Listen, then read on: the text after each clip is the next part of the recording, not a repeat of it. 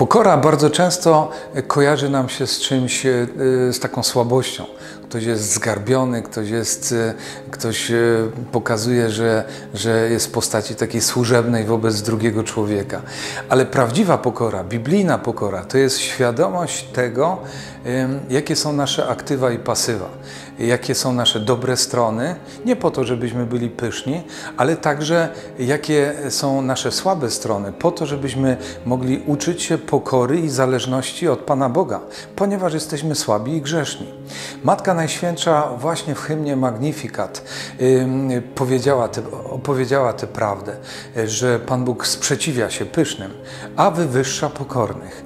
Maryja właśnie była tą, która w pokorze swojego serca rozważała wszystko, co dotyczy jej syna. I w ten sposób stała się błogosławiona między niewiastami, błogosławiona na całym świecie w tysiącach sanktuariów.